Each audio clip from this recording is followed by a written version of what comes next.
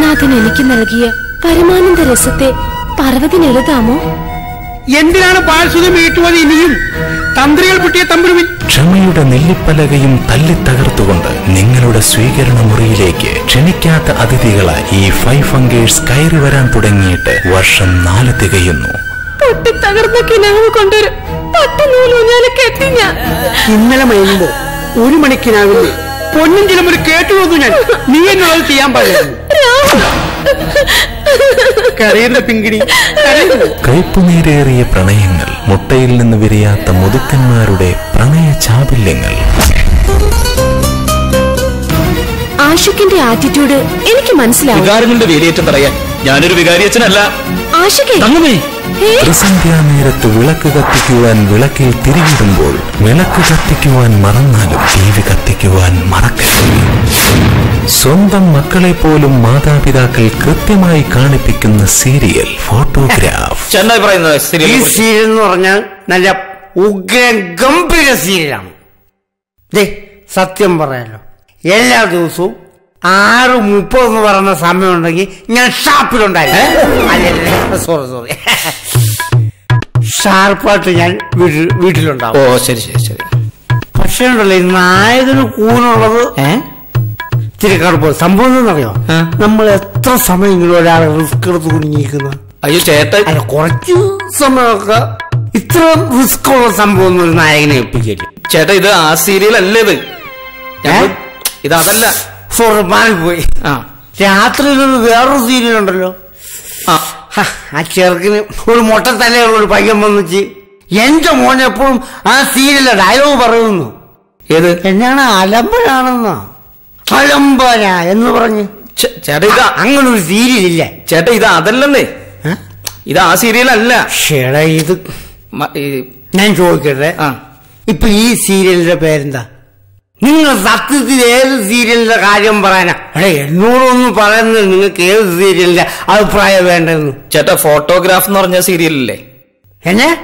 Photograph എന്ന് പറഞ്ഞ സീരിയലിന്റെ അഭിപ്രായമാണ് ചേട്ടൻ പറയുന്നത്.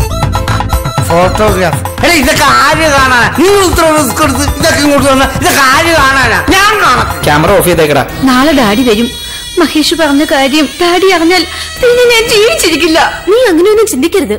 എന്റെ സ്ഥാനത്ത് ഞാനായിരുന്നെങ്കിൽ നീ ഒന്ന് ആലോചിച്ച് നോക്കിയേ. സരിതേ നാളെ ഞായറാഴ്ചയാണ്. അത് നീ മറക്കണ്ട.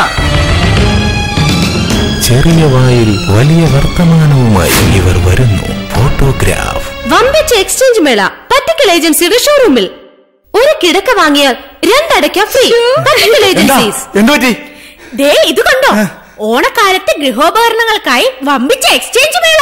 പഴയ സാധനങ്ങളൊക്കെ കൊടുത്ത് പുതിയത് വാങ്ങുന്നവർക്ക് സമ്മാന കൂപ്പണും. ദേ ഒന്നാം സമ്മാനം ഒരു പവനാ ദിനേശേട്ടാ ഇതിനാണ് നീ കിടന്ന് കാറിയത്? മനുഷ്യനെ പേടിപ്പിച്ചു കളഞ്ഞല്ല ദിനേശേട്ടാ നമ്മുടെ മിക്സിയും ടിവിയും വാഷിംഗ് മെഷീനും ഒക്കെ പഴയതായി. നമുക്കിതൊക്കെ കൊടുത്ത് പുതിയത് വാങ്ങിച്ചാൽ അതിന്റെ ആവശ്യമൊന്നുമില്ല. ഇവിടെ ഉള്ള സാധനങ്ങളെ കൊടുത്ത് മാറ്റി മേടിച്ചിട്ടേ ഒരു വർഷം പോലും കഴിഞ്ഞിട്ടില്ല. എടി ഇക്കണക്കിന് പോവാണ് നീ എന്നെ മാറ്റിട്ട് പുതിയ ആളെ മേടിക്കലോടി അതെന്നേ മാറ്റേണ്ടതായിരുന്നു. നീ ഇവിടെ ടി വിയും കണ്ടിരുന്നോ? എനിക്കേ ഓഫീസിൽ പോവാൻ ടൈമായി. നീ പോയി ഭക്ഷണം എടുത്തു നോക്കി. അതിന് എന്തോ എടുത്ത് വെക്കാനാ ഇന്ന് ബ്രേക്ക്ഫാസ്റ്റ് ഇല്ല. ഇല്ലേ? അതെന്താ? ഉഴുന്നരക്കാൻ മറന്നു. പിന്നെ ഗ്യാസും തീർന്നു. ഇതിപ്പോ ഒരു സ്ഥിരം പതിവായിട്ടുണ്ടല്ലോ. എനിക്ക് നടുവേദനയാ. നടുവേദനയ്ക്ക് മസാജ് ചെയ്യാനുള്ള ഒരു കുന്ത്രണ്ടം ടി വി കണ്ടപ്പോ വാങ്ങിക്കാൻ നിങ്ങളോട് പറഞ്ഞാണോ? നിങ്ങൾക്ക് പറ്റിയില്ലല്ലോ? എടി. അടുപ്പിന്റെ ഇടയിൽ കിടന്ന് കുത്തി മറിയാൻ എന്നെ കൊണ്ട് പറ്റത്തില്ല. എടി ഇതുകൊണ്ടാ നിന്നോട് ഞാൻ നേരത്തെ പറഞ്ഞ ഒരു ആരോഗ്യമുള്ള വേലക്കാരത്തിനെ കൊണ്ടല്ലോ എനിക്ക് സമയാസമയത്ത് ആഹാരം കിട്ടുമായിരുന്നു. അത് ശരിയാ. പീഡന കേസിൽ അകത്ത് പോയാലേ സമയാസമയത്തിന് ആഹാരം തിന്നാം. നിന്നോട് പറഞ്ഞിട്ട് ഒരു കാര്യമില്ല എടി പറ്റില്ലെങ്കിൽ പറഞ്ഞോ. എനിക്ക് വേണ്ടി നീ ഭക്ഷണം ഉണ്ടാക്കൊന്നും വേണ്ട. ഞാനേ വല്ല ഹോട്ടലിൽ നിന്നും കഴിച്ചോളാം. അതെ ഒരു അഞ്ചു മിനിറ്റ് വെയിറ്റ് അഞ്ചു മിനിറ്റും കൊണ്ട് നീ ഇവിടെ എന്തുണ്ടാക്കാനാ? അല്ല ഒന്ന് ഡ്രസ് മാറി വരാനായിരുന്നു. ഹോട്ടലാകുമ്പോ നല്ല ഭക്ഷണം കിട്ടുമല്ലോ. അയ്യോ എന്നെ അന്വേഷിച്ച് വന്നവർ ആരെങ്കിലും ആണെങ്കിൽ ഞാൻ ഓഫീസിൽ പോയി പറഞ്ഞേ കേട്ടോ? ദൈവമേ. ആരാ? Good morning madam. Good morning. ആരാ? My name is Dattatreya. എന്താ? ദത്തത്രയൻ. T D Dathathrayan. ഞാൻ എഫ് ആർ സു കമ്പനിയുടെ എറണാകുളം ബ്രാഞ്ചിന്റെ റെപ്രസെന്റേറ്റീവ് അയ്യോ ചേട്ടൻ ഇവിടെ ഇല്ല കേട്ടോ. നന്നായി. അല്ല മാഡം ഇവിടെ ഉണ്ടല്ലോ. അത് മതി. മേഡം നമുക്ക് അകത്തിൽ സംസാരിക്കാം. പ്ലീസ് ഇരിക്കൂ. മേഡത്തിന്റെ ഗുഡ്സ് നൈം പ്ലീസ് ശകുന്തള. ഓ സീറ്റ് നൈം ആ ഹസ്ബൻഡ് ചേട്ടൻ ലാട്രിനില്ല ഓഹോ. അവിടെയും ഞങ്ങളുടെ കമ്പനി പ്രത്യേക ഓഫറുകൾ നൽകാറുണ്ട്? കക്കൂസി പോണവർക്ക് എന്നാ പാക്കേജ് ആടാ നിങ്ങളുടെ കമ്പനി. നീ ആരാ? അല്ല സാർ ഞാൻ തെറ്റിദ്ധരിച്ചു. ഇരി. സാർ അല്ല നീ എന്താ നിക്കണേ? അത് ഞങ്ങളുടെ ആദ്യത്തെ മര്യാദയാണ്. ആണോ? അതെ. താങ്ക് യു സാർ ഞാൻ എഫ് എസ് കമ്പനിയുടെ ഓണാഘോഷം വിരൽ തുമ്പിൽ എന്ന സ്കീം ഇൻട്രൊഡ്യൂസ് ചെയ്യാൻ വേണ്ടി ജസ്റ്റ് ഒന്ന് കയറിയതാ. അല്ല എന്താ ഈ സ്കീം? പറയാം. മേലനങ്ങാതെ എങ്ങനെ ഓണം ഉണ്ണാം എന്ന് മലയാളികളെ ശീലിപ്പിക്കുന്ന ഒരു ഓണ പാക്കേജാണിത്. ഈ കാര്യങ്ങളൊക്കെ ഇവിടെ പറഞ്ഞാൽ മതി. ഇവിടെ ഒരാളിരിപ്പുണ്ട് അതായത് ഓണം പ്രമാണിച്ച് അത്ത മുതൽ നാല് ഓണം വരെ ഞങ്ങളുടെ കമ്പനി വളരെ ആകർഷകമായ ഓണ ഓഫറുകളാണ് വീട് വീടാന്തരം നൽകാൻ ഉദ്ദേശിക്കുന്നത്. അത്തം മുതൽ പത്ത് വരെ എല്ലാ ദിവസവും. വീടുകൾ തോറും ഉപ്പ് തൊട്ട് കർപ്പൂരം വരെ എല്ലാ സാധനങ്ങളും ഞങ്ങളുടെ കമ്പനി അവസരം എത്തിച്ചു കൊടുക്കും. നിങ്ങളൊന്നും അറിയണ്ട. നിന്നോട് കാര്യങ്ങൾ ഇവിടെ പറഞ്ഞാൽ മതി ഞാൻ പറഞ്ഞു. ആ. ഇനി പറ. എന്താ നിങ്ങളുടെ ബാക്കി പരിപാടികൾ? ഇതാണ് എന്റെ പറ്റ് ബുക്ക് ബുക്കോ അല്ല ബുക്ക്ലെറ്റ് പ്ലസ് മെനു കാർഡ് ഇതിൽ നോക്കി നിങ്ങൾക്ക് ആവശ്യമുള്ളത് സെലക്ട് ചെയ്യാം. ചാണകം എങ്ങനെയാ എന്നത്? ഞാൻ വേഗം പറയാം അത്തത്തിനൊന്ന് വെളുപ്പിനെ വന്ന് ഞങ്ങൾ ചാണകം ഇട്ട ചങ്ങ് പോകും. ഐ മീൻസ് ചാണകം മെഴുകിട്ട് പോകുന്നേ. ഓ. അത് കമ്പനിയുടെ എ ടീമാണ് ചെയ്യുന്നത്. തൊട്ടു പുറകെ വീട്ടിൽ വന്നു പൂക്കൾ വിട്ടു നീന്തി ഇവിടെ ഇരുന്നാ മതി. പറഞ്ഞ് മനസ്സിലാക്കാൻ ആരടാ പൂക്കളോട വീട്ടിൽ വന്നിട്ട് പൂക്കളിടും. അല്ല പൂക്കളം ഇവിടുന്ന് പറഞ്ഞല്ലോ? അപ്പൊ അതിനുള്ള പൂക്കളൊക്കെ ഇവിടുന്ന് കിട്ടും? അതെല്ലാം ഞങ്ങൾ എത്തിക്കും. തമിഴ്നാട്ടിൽ നിന്നും ആന്ധ്രയിൽ നിന്നും ഇറക്കുമതി ചെയ്യുന്ന വില കൂടിയ പൂക്കൾ കൊണ്ടാണ് ഞങ്ങൾ പൂക്കളമിടുന്നത്. ആ ഞാനും വിചാരിച്ചു നമ്മുടെ നാട്ടിൽ എവിടുന്നാ പൂക്കൾ? ആ പിന്നെ ഉച്ചയ്ക്ക് മുമ്പായിട്ട് കമ്പനിയുടെ സി ടീം വന്ന് ഊഞ്ഞാൽ കെട്ടിച്ചു പോകും ഇവിടെ ഊഞ്ഞാലും കീഞ്ഞാലൊന്നും വേണ്ട. ഞങ്ങക്കേ ഞങ്ങൾക്കേ പിള്ളേരില്ല. കെട്ടിക്കോട്ടെ ദിനേശേട്ടാ. നമുക്കും നമുക്ക് ആടാലോ ആടിയാലും ഇല്ലെങ്കിലും ഞങ്ങൾ വന്ന് ഊഞ്ഞാൽ കെട്ടിച്ച് പോകും. അത് ഞങ്ങളുടെ പാക്കേജിലുള്ളതാ. പിന്നെ അത്ത മുതൽ തിരുവോണം വരെ നിങ്ങൾ കുടുംബാംഗങ്ങളുടെ പേരിൽ ഞങ്ങൾ വാമനമൂർത്തി ക്ഷേത്രത്തിൽ ഒരു പ്രത്യേക പൂജകൾ നടത്തും. പ്രസാദ് പോസ്റ്റ് അയച്ചു തരും പ്രസാദോ? അല്ല പ്രസാദം. അപ്പൊ അമ്പലത്തിലും കൂടി പോവണ്ട. കൂടാതെ അത്ത മുതൽ നാലാം ഓണം വരെ ദിവസം ഉച്ചയ്ക്ക് ഓണസദ്യ വീടുകളെത്തിക്കും അത് എഫ് ടി ആണ് ചെയ്യുന്നത്. ഐ മീൻ ഫുഡ് ടീം ആണോ?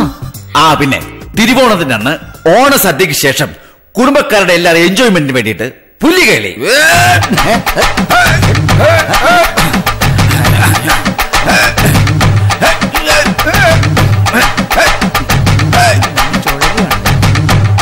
ഇനി തിരുവാതിരകൾ. പങ്കേജാശൻ കാടൽ വർണൻ വാസുദേവൻ ജഗന്നാഥൻ. ഇനി കൈകൊട്ടിക്കളി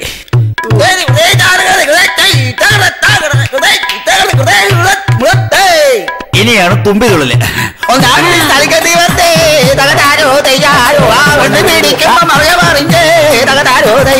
ആ, അയ്യോ.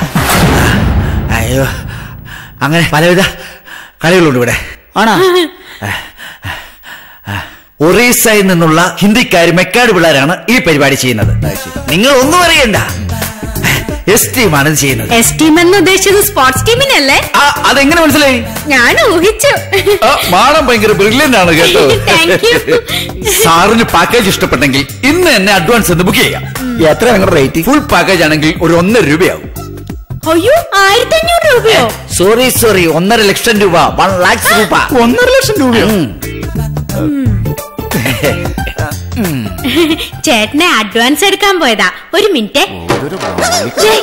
നിങ്ങൾ എന്താ മനുഷ്യ ഒന്നും മിണ്ടാതെങ്കിൽ പോന്നെ? പിന്നെ ഞാൻ എന്ത് ചെയ്യണം? ഒന്നര ലക്ഷം രൂപ കൊടുത്താൽ ബുക്ക് ചെയ്യണം? ആ കാര്യം സാധിക്കണേലേ കാശ് എണ്ണി കൊടുക്കണം. നിന്റെ അപ്പ മുത്തുപ്പാട്ട് ഇവിടെ ലക്ഷങ്ങളൊന്നും കൊണ്ട് വച്ചിട്ടില്ലല്ലോ. ദേ എന്റെ അച്ഛനെ പറഞ്ഞാലുണ്ടല്ലോ. ദേ ചുമ്മാതൊന്നുമല്ല മൂന്ന് ലക്ഷം എണ്ണി തന്നിട്ട് എന്റെ അച്ഛൻ ഈ കല്യാണം നടത്തിയ. ആ അപകടം പറ്റുന്നവർക്കേ നഷ്ടപരിഹാരം കൊടുക്കണമെന്ന് എല്ലായിടത്തും പറഞ്ഞിട്ടുള്ളതാ. നിങ്ങൾ ഒരു മരത്തലേന അത് നിന്നെ കെട്ടിക്കൊണ്ടു വന്നപ്പോ എന്റെ കൂട്ടുകാരെയൊക്കെ പറഞ്ഞതാ. ദേ ഞാനൊരു കാര്യം പറഞ്ഞേക്കാം. എന്നാ? ഓണത്തിന് സദ്യ ഒരുക്കാനും വയ്ക്കാനും വിളമ്പാനൊന്നും എന്നെ കൊണ്ട് പറ്റില്ല. ദേ ഇപ്പൊ എല്ലാ വീട്ടിലും സദ്യ പുറത്തുനിന്ന് കൊണ്ടുവരിക ചെയ്യുന്നേ. നിങ്ങൾ എന്തോ നീ തുറച്ചു നോക്കുന്നേ? വേറൊന്നും ബുക്ക് ചെയ്തില്ലെങ്കിലും ഓണസദ്യയെങ്കിലും ഒന്ന് ബുക്ക് ചെയ്യും. ഇല്ലെങ്കിലേ തിരുവോണമായിട്ട് പട്ടിണി അടക്കേണ്ടി വരും. ആ ശരി. ഓണസദ്യ മാത്രം ബുക്ക് ചെയ്യാം. പിന്നെ അവിടെ ചെന്നിട്ട് മണാഗുണാന്ന് വേറെന്തെങ്കിലും പറഞ്ഞ എന്റെ സ്വഭാവം മാറും. ആ. അതെ ദിനേശേട്ടാ? പൂക്കളും കൂടെ ഒന്ന് ബുക്ക്. വേണ്ട. സദ്യ മാത്രം മതി. ആ അങ്ങനെ വഴിക്കുക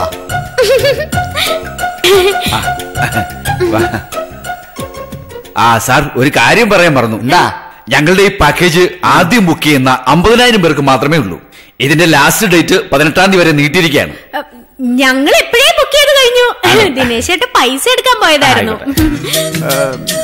നിങ്ങളുടെ ഈ പാക്കേജിലേ ഞങ്ങൾക്ക് ഓണസദ്യ മാത്രം മതി. വേറെ ഒന്നും വേണ്ട. അല്ല ഈ സദ്യ റേറ്റ് എങ്ങനെയാ? ഒരിലയ്ക്ക് ആയിരത്തി അഞ്ഞൂറ് രൂപയാണ് ഒരു ഇലയ്ക്ക് മാത്രം ആയിരത്തി അഞ്ഞൂറ് രൂപയോ.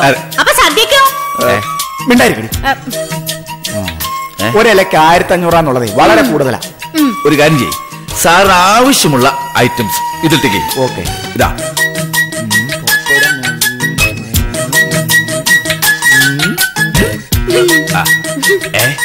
അല്ല സാറേ ഇതിൽ എത്ര പേർക്ക് വേണമെന്നുള്ള പറഞ്ഞിട്ടില്ലല്ലോ. ഞങ്ങൾക്ക് രണ്ടുപേർക്ക് മതി. അയ്യോ രണ്ടല്ല. എന്റെ അമ്മാവനും അമ്മായി ഒക്കെ ഉണ്ടാവും പിന്നെ ചേച്ചിയുടെ കുട്ടികളും ഉണ്ടാവും. ആണോ? മൊത്തം ആറെണ്ണം. ടോട്ടൽ പതിനായിരത്തി അഞ്ഞൂറ് രൂപ അഡ്വാൻസ് തരണം. ഹൈ, ഇതെന്ത് കണക്കാടോ ഇത്? സാർ ഞാൻ വളരെ കുറച്ചേ കൂട്ടിയിട്ടുള്ളൂ. ഞങ്ങളുടെ packing charge labour charge travelling expense ഇതൊന്നും കൂട്ടിയിട്ടില്ല. അങ്ങോട്ട് കൊടുക്ക് ചേട്ടാ. ഇതൊരു പതിനായിരം രൂപയുണ്ട്. താനിത് വച്ചോ. എന്നിട്ട് ഞങ്ങൾ പറഞ്ഞ പോലെ ഈ ആറ് പേർക്കുള്ള ഭക്ഷണം. ഓക്കെ സാർ അപ്പോ ഹാപ്പി ഓണം. ആയിക്കോട്ടെ. ഓക്കെ അപ്പൊ നമ്മൾ തിരുവോണത്തിൽ നിന്ന് കാണുന്നു. ഓക്കെ ഓക്കെ ചേച്ചി. ഹാപ്പി ഓണം. വരട്ടെ. അപ്പൊ ഇത്തവണത്തെ ഓണം നമുക്ക് അടിച്ചു പൊളിക്കാം അല്ലേ ദിനേശേട്ടാ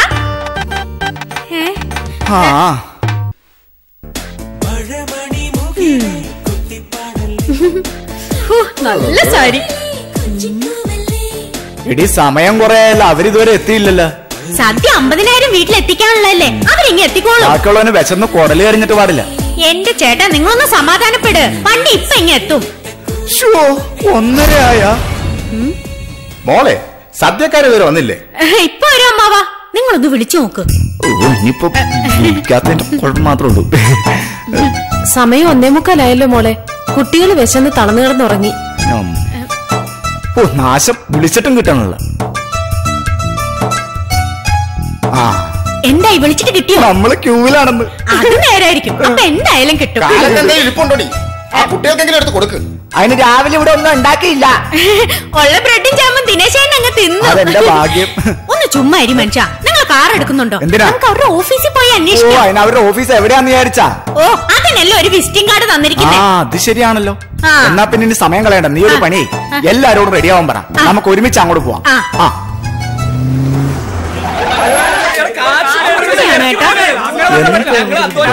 ആ, ഞാനത് പറയട്ടെ? നല്ലത് തന്നെയാ. നിങ്ങൾ ഇവിടെ കിടന്ന് ബഹളം ഉണ്ടാക്കുന്ന ഒരു കാര്യമില്ലെന്ന്. ആ, ഞാൻ ഞാനൊന്ന് പറയട്ടെ. നിങ്ങളോടൊന്നും ബഹളം വെച്ചിട്ട് ഒരു കാര്യമില്ല. ഞാൻ പറഞ്ഞില്ലേ? മാറൂ. കഴിഞ്ഞ നാല് വർഷമായിട്ട് ഞാൻ ഈ ഷോപ്പിംഗ് കോംപ്ലക്സിന്റെ സെക്യൂരിറ്റിയാണ് ഇവിടെ നിങ്ങൾ പറയുന്ന പോലെ ഒരു കമ്പനിയും ഇല്ല ഓണസദ്യ ഇല്ല. ഇതൊക്കെ തട്ടിപ്പാണ്. നിന്റെ.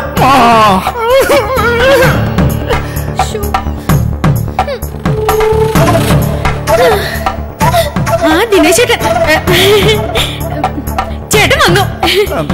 ചേട്ടാ എന്തായി വല്ല രക്ഷയുണ്ടോ? ഹോട്ടൽ വല്ലതും തുറന്നുണ്ടോ എനിക്ക് വിശന്നിട്ട് കണ്ണ് കാണാൻ വയ്യ. നിന്നോട് ഞാൻ പല പ്രാവശ്യം പറഞ്ഞ ആവശ്യമില്ലാത്ത കാര്യത്തിൽ ഇറങ്ങി പുറപ്പെടരുന്ന്. എനിക്ക് പാടില്ല. അവിടെ എന്തൊരു ആൾക്കൂട്ടം.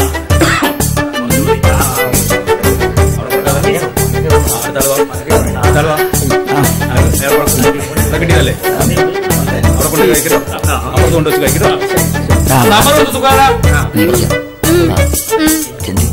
എല്ലാവർക്കും കിട്ടും എല്ലാവർക്കും കിട്ടും.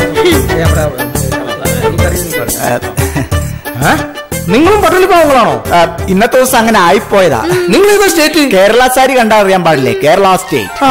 എന്നാ പിടിച്ചോ. ഒരെണ്ണം കൂടി ഓണമല്ലേ? കഴിഞ്ഞില്ലേ? നന്നായി. അമ്മാവാ. ഒരെണ്ണം കൂടി. വലിയ